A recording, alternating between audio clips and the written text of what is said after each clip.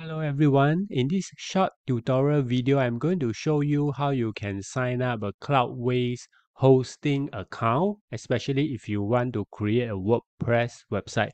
Along the way I also share with you some common mistakes that other people make when signing up a Cloudways account. So hopefully this video will help you to save a lot of time. Okay, so the first thing you need to do is to go to cloudways.com. So once you have come to this website, you will look something like that. And you can click on the button over here that says start free. So after I click on it, it will take me to a form to fill up.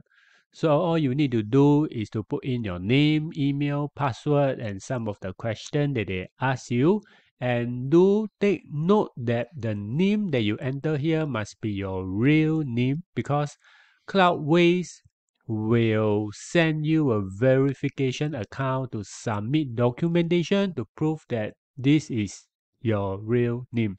And I like it when they do this is because not anyone can just create a fake account using their server to do some strange things. So they are very strict in the security uh, process.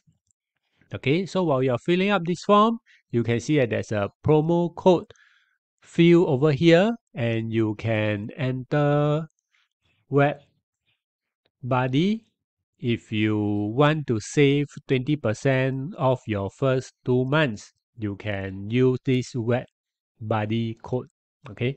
So after you enter everything check this checkbox and start free okay? So once you click this button you will receive an email that asks you to verify then you submit the documentation.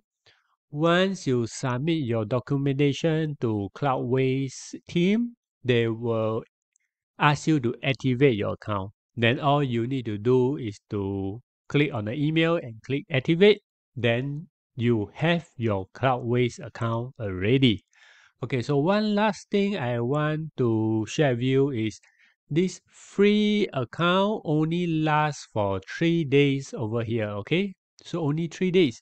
So you need to once you have an account, log in and enter your credit card details so that you can use the account beyond three days. If not, if you don't enter your credit card or debit card information, then this account will be terminated after three days.